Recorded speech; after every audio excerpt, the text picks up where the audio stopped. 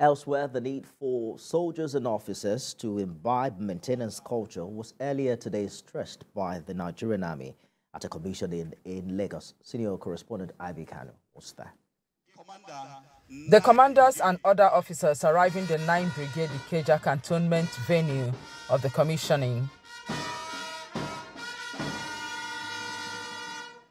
is the headquarters Nigerian Army Education Corps Regimental Sergeant Major's residence. Thank you very much, sir. Thus, the commander, Nigerian Army Education Corps, commissioning the project.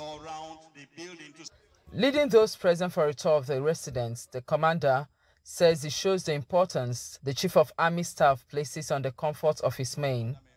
It is the project constructed by almost all the RSMs of the Nigerian Army. He said that for whom much is given, much is expected.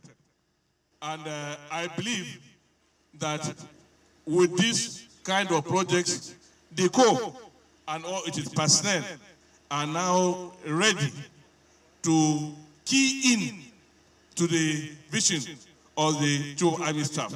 That comfort must not distract you from also doing your job.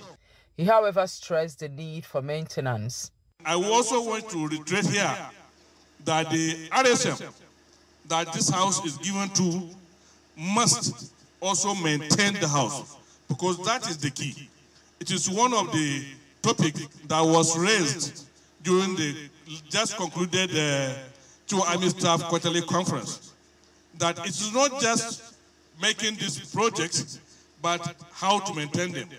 And I believe that ours will be maintained.